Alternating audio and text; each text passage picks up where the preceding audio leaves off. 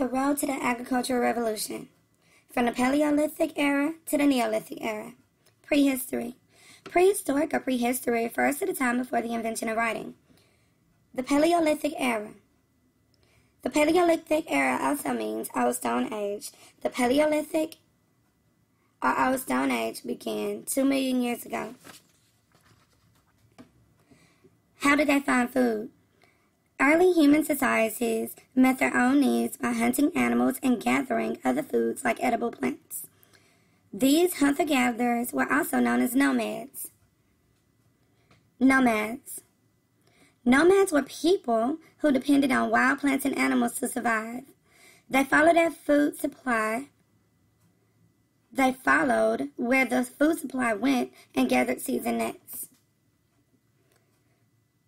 Paleolithic people during this period were nomads, the first to make simple tools and weapons, make cave art, master the use of fire, develop language, and living in clans.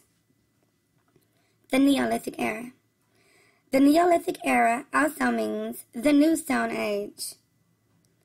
Homo sapiens during this period developed agriculture, domesticated animals, used advanced tools like spears, develop weaving skills.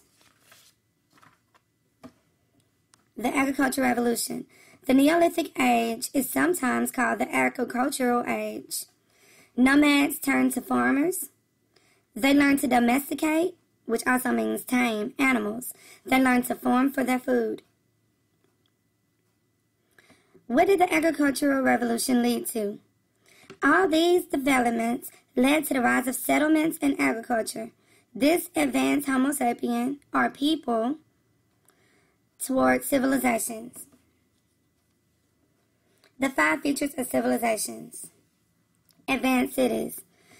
Advanced cities is a feature of civilization. In order to be considered a city, it must have one, large population, and two, must be a center of trade. Complex institutions is a feature of civilizations. Institution, a long-lasting pattern of organization in a community, such as government, religion, and the economy. Technology. Technology is a feature of civilization. New tools and techniques that solve problems and make life easier is known as technology. Specialized workers. Specialized means someone that has a skill to do a specific kind of work. Record keeping. Record keeping is a feature of civilization.